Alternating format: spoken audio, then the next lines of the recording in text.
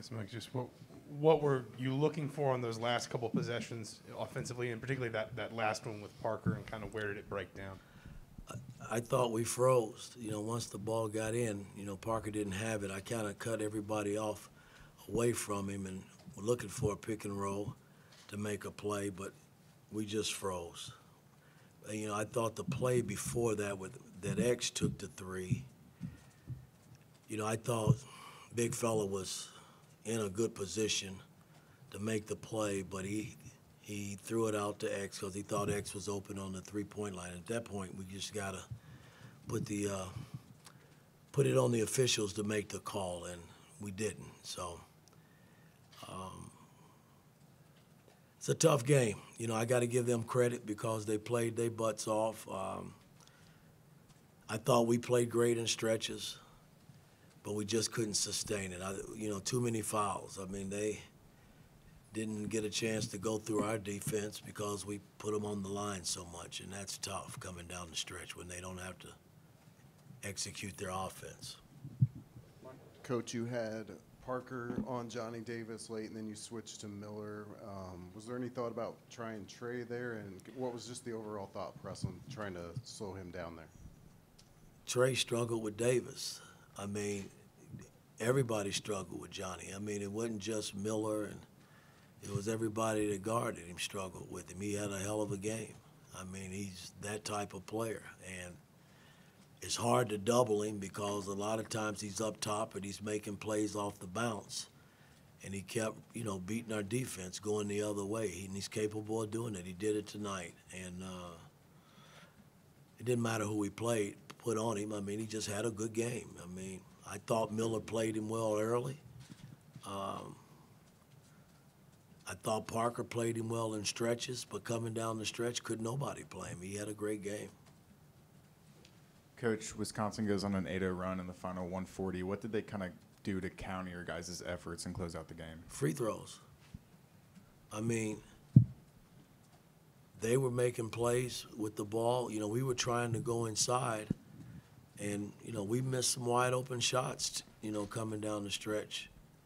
Um, and the times we got it inside, you know, Trayce made them play pay for it. You know, he was great. He made his free throws, and I just don't think we milked it enough. You know, I kept trying to to go to him, and because I knew he, they couldn't stop him.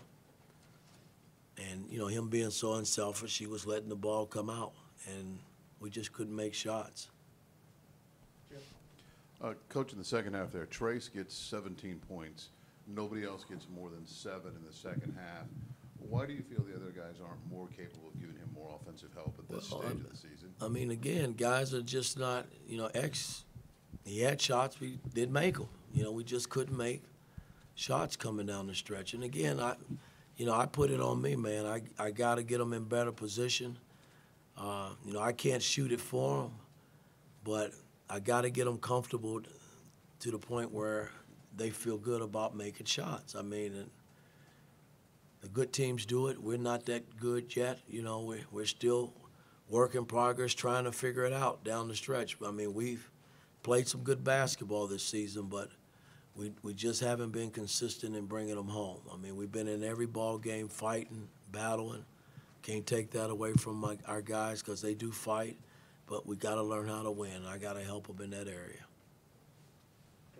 You uh, you tried to steal some minutes to keep you know Trayce and Race uh, fresh, uh, but it didn't seem like you got enough from the second unit. Can you just your thoughts on that and uh, how maybe even down the stretch you can get them going from here?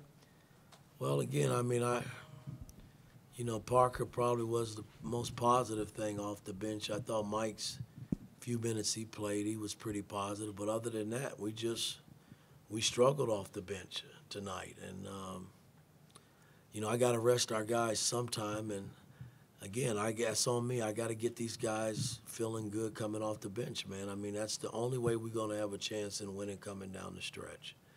They got to relieve our guys to give them some, and then they got to be a little more productive. And I got to help them in that area. Mike uh, Trayce has been kind of struggling to score a little bit the last three, four games, but tonight is huge, and also had uh, season high six assists. Found her racing a lot early. Uh, just how reassuring was that for you to see him bounce back like that and give you a performance like he did tonight? Well, it was great. I mean, he tried to put us on his back. Um, but again, our team ain't, it hasn't been based on just Trayce. You know, we, when we've won, we've, we've won collectively and guys have pitched in and done their job. And right now, I'm just not getting that. Um, and I got to somehow help them, man, because, you know, they, they kind of looking over their shoulders again, you know, uh, in past years and how things have come, and happened to them coming down the stretch, man. And, you know, I, I got to help them get over that somehow.